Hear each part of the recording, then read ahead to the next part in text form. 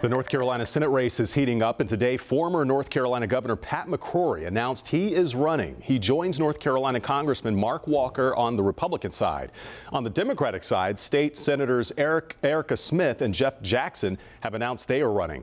All of them looking to fill the seat left empty by Senator Richard Burr after he announced he would not seek reelection. WCNC Charlotte's Ashley Daly spoke to McCrory, who is trading in his radio job in hopes for a new job.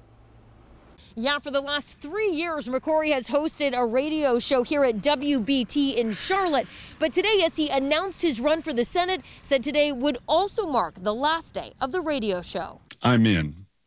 I'm in. Today, Charlotte's own Pat McCrory making a big announcement on his radio show. I'm going to run for the U.S. Senate. And just hours after that announcement, I caught up with McCrory to discuss everything from his ambitions to HB2. So you announced today you are running for the U.S. Senate. How are you feeling today?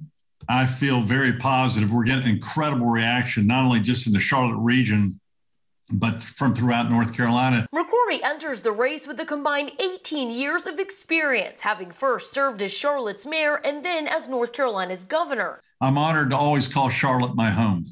And uh, it'd be an honor to be the mayor of Charlotte, one time the governor of North Carolina, and then senator. If he makes it to Washington, McCrory says he'll use his experience to address issues around transportation, infrastructure, and protecting the border. Because within a very short period of time, North Carolina is going to feel the impact of illegal immigration. But the race for the Senate seat expected to be a battle. Right now, the Senate is evenly split 50 Democrats to 50 Republicans. And today, Democrats quick to respond to McCrory's bid. In a statement, North Carolina Democrats calling McCrory a failed politician who signed hateful and divisive legislation into law, hurt our national reputation, and damaged our state's economy. That statement in regard to HB 2, otherwise known as the bathroom bill, which was ultimately repealed after high profile events fled the state in protest. Today, McCrory responded. I've moved on, and so has Charlotte, thank God. And now, five years after signing HB2 into law, McCrory taking a different stance. Listen, I want to judge everyone not by